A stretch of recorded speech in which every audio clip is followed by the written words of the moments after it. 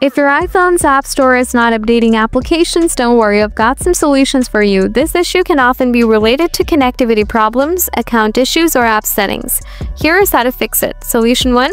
Check App Auto Update Settings. Open Settings. Scroll down, tap App Store, ensure updates are enabled, make sure the toggle for app updates is turned on. Also enable app downloads. Solution 2. Check your internet connection.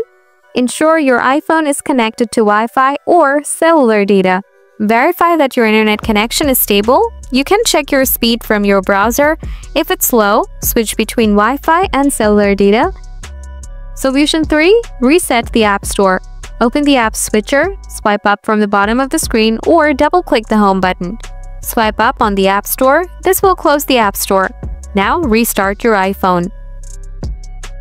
After that, reopen the App Store, launch the App Store again and check for updates.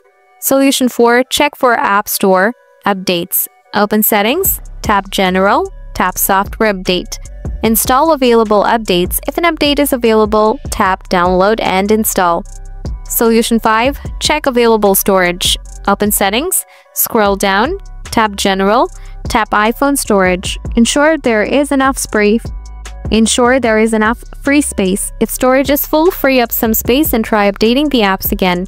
By following these steps, you should be able to resolve the issue of the App Store not updating application.